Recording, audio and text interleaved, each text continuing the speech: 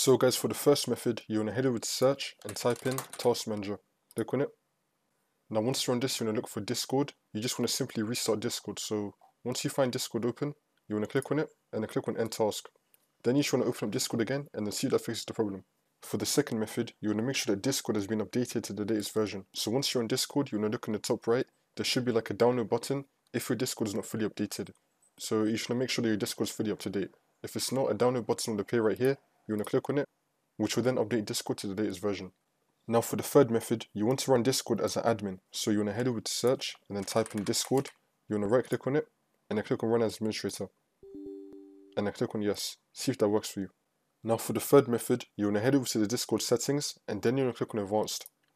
Now you want to turn off hardware acceleration. And then you want to click on OK, which will then relaunch Discord and then see if that works for you. If not, you can just turn it back on again. Now for the next method, you want to head over to search and type in device manager. Click on it.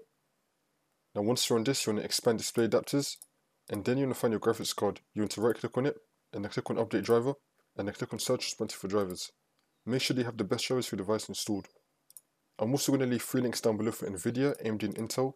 You want to download the software that comes with your graphics card and you want to make sure you have the latest drivers for the software itself. If that's still not working for the last method, you want to head over to search and type in remove programs. Click on it.